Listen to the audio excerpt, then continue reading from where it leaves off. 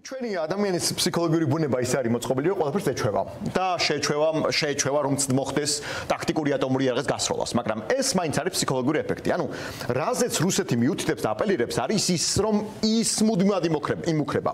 რუსეთი ყველა სამხედრო კონფლიქტს ყოველთვის იგებდა მუქარით.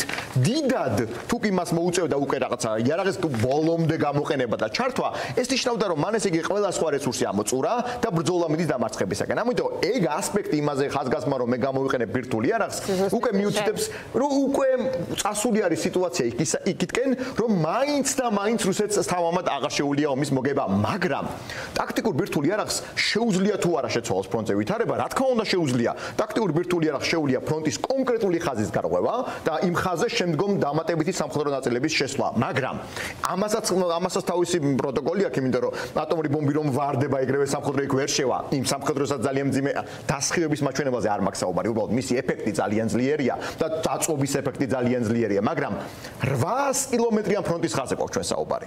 შესაბამისად, ატომური იარაღის გამოყენება თუნდაც ტაქტიკური იყოს, ყველა ერთად ვერ მოხდება. ამას აქვს თავისი ძალიან მძიმე, არა მხოლოდ ეკოლოგიური შედეგები, არამედ ფრონტალური შედეგები, იმიტომ რომ იმის გავლა საბოლოო ჯამში დამატებით სამხედრო ქვეით ნაწილებს რამდენიმე დღეში თუ მოახერხებენ და მოუწევთ. მაგრამ აქ ცოტა სხვა რაღაცას უნდა შემოვიტანოთ ჩვენ, იმიტომ რომ ატომური იარაღის გამოყენების შანსი არაერთ ქვეყანას ჰქონდა არაერთხელ პერიოდში.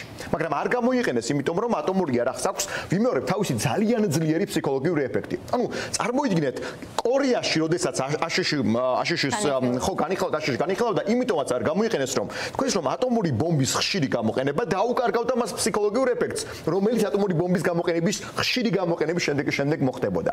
ატომური ბომბის კიდევ ერთხელ ყველა ექსპერტი, ყველა მკვლევარი, ყველა ვინც სამხედრო საქმე სერიოზულად იცის, ატომური იარაღის ეფექტი არის შემაკავებელი და ძალიან მცირეა მისი შემტევი ეფექტი, თუმცა კონკრეტულ ზონაში სამხედრო ფრონტის ხაზის მიმართულებით, რა თქმა უნდა, მას ექნება დიდი დამანგრეველი ეფექტი, უბრალოდ ამაზე პასუხი ყველა ვარიანტში იქნება. დამატებითი კონსოლიდაცია და მობილიზაცია უკრაინაში და რაც ყველაზე მთავარია, ევროპის კონტინენტზე არასდროს ატომური ბომბი არ ჩავარდნილა და ატომური ბომბის ჩავარდნა და გამო გამოყენება ევროპის კონტინენტზე მასშტაბებს ამობის თელს ევროპის კონტინენტზე. ხო, ნუ ცლის.